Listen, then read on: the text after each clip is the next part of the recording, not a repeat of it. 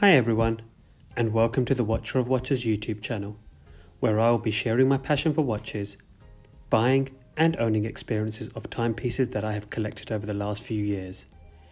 If you like my videos, please drop me a comment below, hit the subscribe button and turn on the notifications, and follow me on Instagram.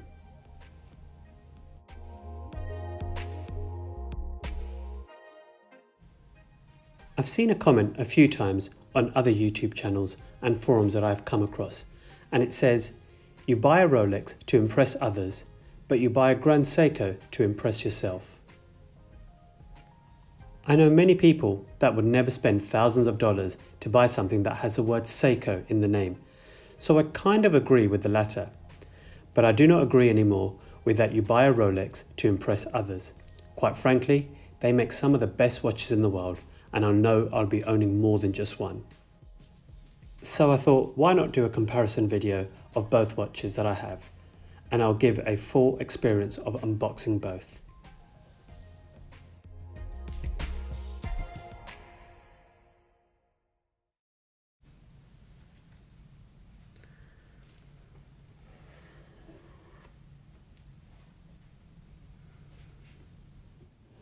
I think for both brands, the packaging can be upgraded, although I think for Rolex it's the last of their concern.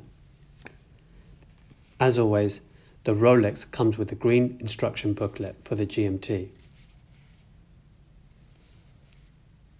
And also its iconic green box.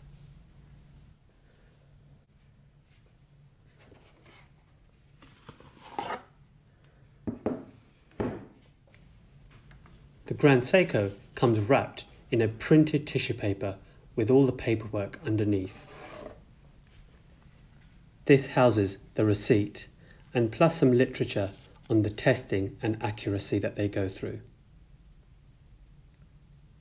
And finally, you get a certificate with the serial number and the movement number stating it has passed all the Grand Seiko inspection. Also, the warranty booklet and all Grand Seiko watches come with three years warranty.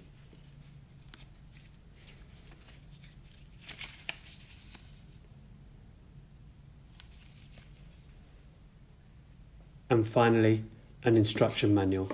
It's quite a large one and it covers a range of their watches.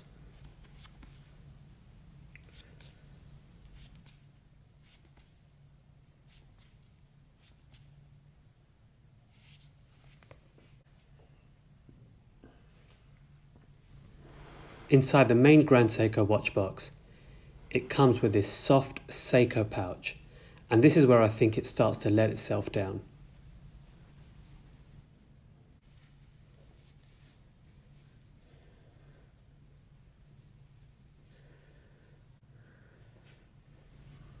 The Rolex with its no nonsense packaging, and with the plastic packet, it includes a reference number, the hang tag, and also the links for the Jubilee bracelet, and I had to have two taken out.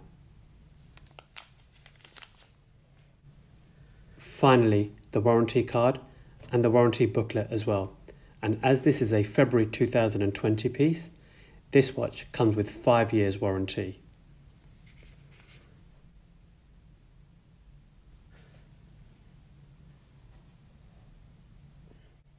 As always, the bezel protector and this one comes with the N170 protector, which I believe is for all the GMTs and the Submariners. The Grand Seiko comes with this really poor cushion. In fact, I'm not even sure what it's made out of, but this is where they need to improve their packaging. And finally, the hang tag.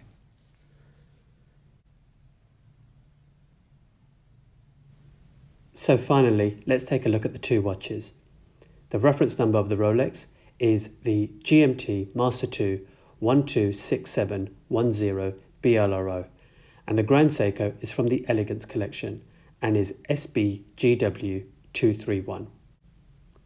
Both of these watches are hot watches in their brands. The Pepsi has a huge waiting list and retails at approximately $11,000 Unfortunately, I had to pay a 50% premium to get this from an independent dealer. The Grand Seiko retails at 4400 and also has a 3 to 4 month waiting list. I was lucky enough to get this for $3,500 during the height of the pandemic. The best way to describe these two watches is that the Rolex is industrial perfection, where everything feels laser etched with sharp edges. The Grand Seiko has a completely different feel, with its soft looks and the feeling of it being hand finished. And they're both very different watches, one having a bracelet and a clasp, and the other a leather strap with a pin buckle.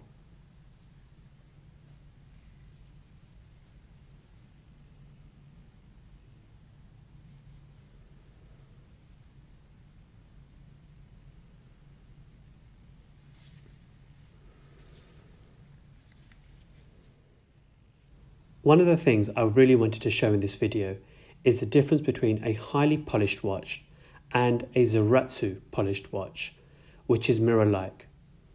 I understand it takes years to master, and some brands use it to get the black polish finish on screw heads. Grand Seiko did this for the whole case, and the finishing is completely distortion free. I've compared this with many highly polished watches, and this is a truly unique finish.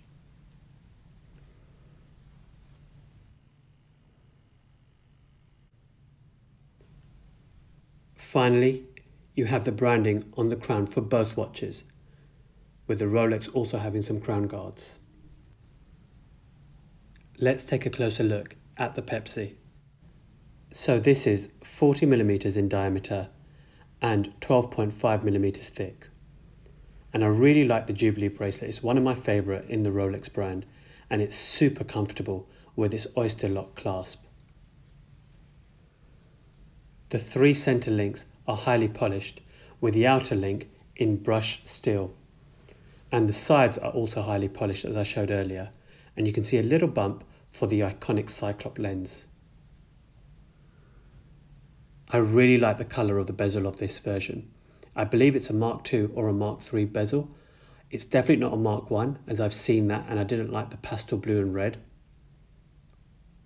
And the red hand is for the GMT function so it shows a second time zone. And the three dots on the crown represent the triple lock waterproof system, and this watch has a 100 meters water resistant rating. Now this watch comes with a 3285 in-house movement from Rolex and comes with 70 hours power reserve. The oyster lock clasp is perfectly engraved and can be adjusted by 5mm and there isn't a better sound than this.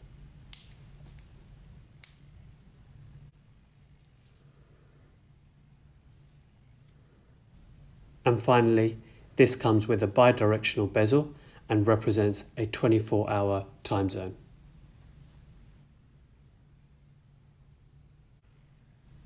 The Grand Seiko Elegance is 37.3 millimeters and is a proper dress watch with its clean dial, leather strap and pin buckle.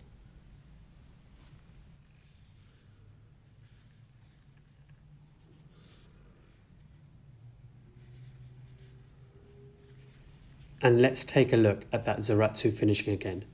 It's completely flawless and it's all around the case, including the crown.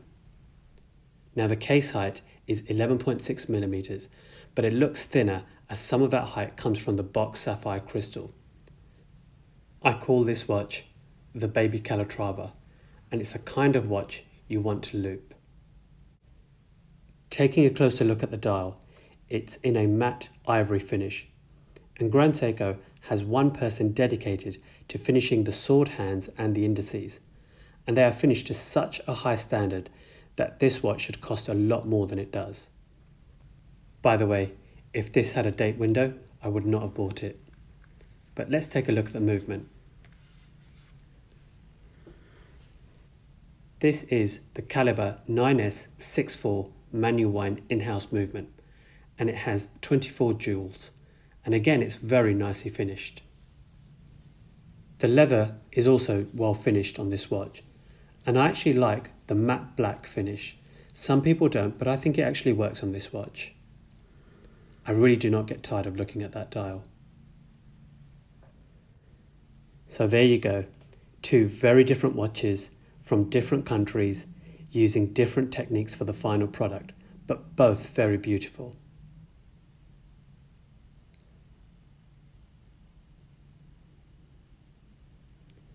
So finally, let's finish off with a wrist shot. And the Pepsi has real wow factor to it.